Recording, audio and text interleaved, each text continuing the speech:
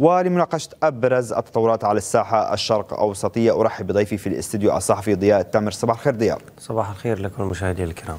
ضياء اليوم نتناول الملف السوري. بداية اليوم يعني يصادف أو يعني هو الذكرى السادسة لاحتلال تركيا والفصائل الإرهابية لعفرين. يعني بعد 58 يوما من المقاومة والصمود احتلال تركي والفصائل التابعة لها لعفرين ست سنوات من الجرائم ست سنوات من الانتهاكات. ماذا حدث خلال هذه الفترة؟ نعم تحية مجددا. أولا كل التحية للصامدين من أهالي عفرين سواء المتبقين فيها أو المهجرين قسرا في مخيمات الشتات بالقرب منها على أمل العودة بعد تحريرها. وكل التحية للمقاومة التي اليوم تناضل وتقاوم من أجل دحر الاحتلال التركي وتكبيده مع الإرهابيين التابعين له خسائر كبيرة. المؤلم والموجع أكثر أن ذكرى أو تاريخ احتلال عفرين وسقوطها بيد الاحتلال التركي والفصائل الإرهابية أن هذا اليوم يأتي بعد ثلاثة أيام من الذكرى الانطلاق الثورة السورية في الخامس عشر من آذار مارس عام 2011 هذه الثورة التي خرج فيها السوريون ينادون بالحرية والخلاص من الاستبداد والظلم وينادون بوحدة الشعب السوري واحد واحد واحد الشعب السوري واحد. ليتبين لاحقا أن ذلك الشعار لم يتجاوز الحناجر لدى الكثير من المنادين به. عندما جاءت تركيا وحملت هؤلاء المحتجين السلاح وقالت صوبوه وجه جلاديكم وانتقموا لمن قتلكم. وأطلقوا بعض الرصاصات منه لتقول لهم لا كفوا عن ذلك ليست هذه أهدافكم. اليوم يجب أن تصوبوها إلى أهداف أخرى. هؤلاء القسم الآخر من الشعب السوري من إخوانكم هؤلاء الفرائس التي يجب أن تصطادوها. أولا لكي يتحقق فيما بعد ما تريدونه من إسقاط النظام أو الحكم في سوريا والحرية التي تحلمون, تحلمون بها. فصوبوا بنادقهم تجاه أهالي عفرين وسكانها ليحتلوها. والذي يكون يظفر بأكبر عدد من الفرائس تكون له المكافآت. ومن يرفض فإن مصيره أن يترك معزولا في مواجهة قوات الحكومة السورية أو مواجهة الفصائل الأخرى والتنظيمات الإرهابية لتفترسه كما افترسوا أهالي عفرين السوريين والمناطق الأخرى التي ساعدوا تركيا وكانوا أدوات رخيصة وبخسة لها من أجل احتلال هذه الأرض السورية. قتل وخطف وتهجير واغتيال واعتداءات جنسية وسلب ونهب واستيلاء على الممتلكات وقطع لأشجار وتدمير للشجر والبشر والحجر وكل ما ينبض بالحياة أو يكون عنوانا دالا على بعض مراحلها وتفاصيلها. هو ما جرى في عفرين ويجري اليوم والأشنع والأفظع والأكثر لا إنسانية. اليوم هو ما تستمر به تلك الأدوات الرخيصة من هذه الجرائم والتي كان أبرزها وأكثرها شناعة وفظاعة مؤخرا استهداف الأطفال القصر في عفرين بعمليات القتل ومحاولات الاغتيال فقط إشفاء لغل المحتل التركي بعد التقارير الدولية الكثيرة التي قالت إن ما جرى ويجري هي جرائم حرب وجرائم ضد الإنسانية تتحمل تركيا المسؤولية عنها ويشترك مسؤوليها في هذه الجرائم وهذه المجازر وهذه الانتهاكات.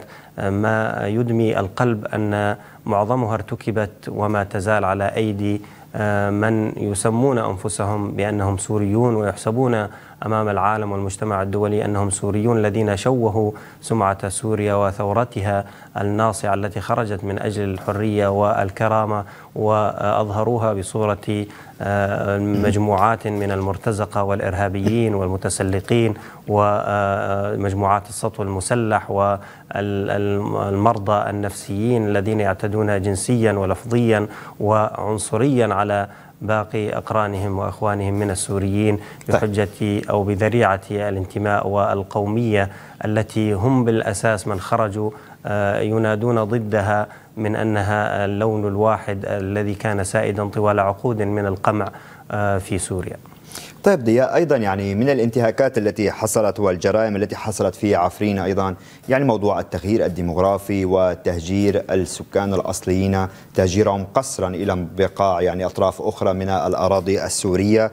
يعني هذا الموضوع يعني أثر كثير على وجدان السوريين الذين يمتلكون الوطنية. يعني البعض من السوريين اليوم يعني مجردين من هذا هذا الوعي أو هذا الإحساس الوطني. لو انتقلنا يعني إلى هذا الموضوع أيضا يعني هناك انتهاكات حدثت في تركيا. تركيا التي تحتل عفرين هي مسؤولية مسؤولة قانونيا أمام هذه الانتهاكات أمام يعني هذه الجرائم التي تحصل. هي مسؤولة وربما يعني هي التي تمنهج هذه الجرائم. اليوم تركيا حولت والفصائل الإرهابية حولت منطقة عفرين إلى منطقة آمنة للإرهابيين الذين جاءوا من شتى بقاع العالم إلى عفرين وإلى المناطق المحيطة اليوم ألا يستوجب ذلك موقفا دوليا صارما تجاه هذا الموضوع؟ بالتأكيد ما تحدثت عنه من أن تركيا مسؤولة وتمنهج هذه الجرائم هو ما تحدثت به المنظمات الدولية مثل هيومن رايتس ووتش مؤخرا ولجنة التحقيق الدولية المعنية بسوريا وقبلها العفو الدولية والكثير من المنظمات المحلية والدولية التي قالت إن ما جرى ويجري في عفرين هو جرائم حرب وجرائم ضد الإنسانية وأن تركيا مسؤولة عنها ولجنة التحقيق الدولية المعنية بسوريا قالت إن مسؤولي الحكومة التركية هم شاركوا بهذه الجرائم وكانوا مسؤولين مباشرين عن ارتكابها ما يجعل هذا الفعل الجرمي واللا إنساني هو فعل ممنهج مسؤولة عنه منظومة حكم تركيا بوصفها قوة احتلال تحتل أرضا أرض دولة مجاورة بالقوة وباستخدام الإرهابيين والمرتزقة وهذا كله يحملها مسؤوليات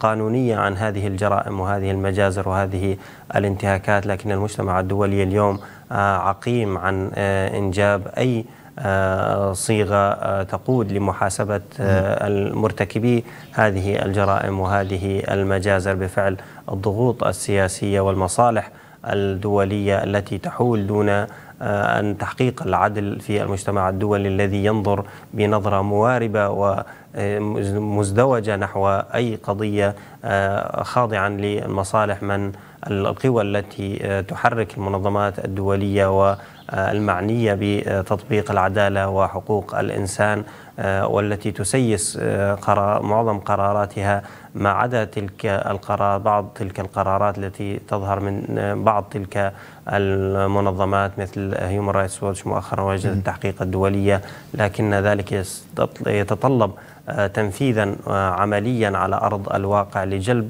المجرمي الحرب إلى المحاكم الدولية أو فرض عقوبات عليهم أو إلزامهم تحت بنود ملزمة في مجلس الأمن الدولي بإنهاء احتلالهم للأراضي السورية وتسليم المطلوبين. وذلك صراحة يشكل وصمة عار استمرار هذا الوضع على ما هو عليه في جبين المجتمع الدولي الذي بات غير موثوق فيه اليوم بكل مؤسساته ومنظماته لأنه لم يأتي يوما ما أو لم ينحز يوما ما إلى جانب الشعوب المقهورة والمظلومة التي تكابد الاستبداد والاحتلال كما يجري في عفرين اليوم ويجري في كل المناطق السورية وكما يجري في فلسطين وقطاع غزة على وجه التحديد وكما جرى قبل عقود أو قرون في دول عدة مثل أوروبا وامريكا من مجازر إبادة جماعية لسكان أصليين عانوا الويلات تحت الحروب والدمار والقتل طيب. والتشريد والتهجير. طيب ضياء أيضا في الشق السوري بيدرسون يفشل في إقناع دمشق بحضور اللجنة واجتماعات اللجنة الدستورية في جنيف. طبعا أيضا روسيا رفضت هذا الموضوع وباعتبار أن جنيف يعني وفق روسيا ليست مكانا محايدا. تفضل.